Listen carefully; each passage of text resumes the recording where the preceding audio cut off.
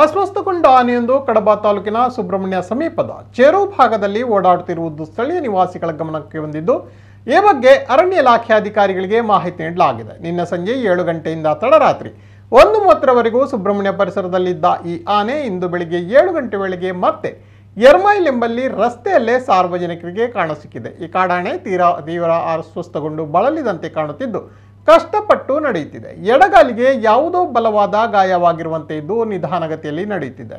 ತಿಂದ ಆಹಾರವನ್ನು ಜಗಿದು ಅಲ್ಲಲ್ಲೇ ಉಗಿದು ಹೋಗುತ್ತಿದೆ ಎಂದು ಸಾರ್ವಜನಿಕರು ಮಾಹಿತಿ ನೀಡಿದ್ದಾರೆ.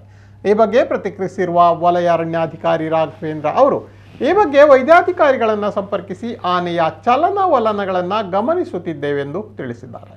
ನನ್ನ mobile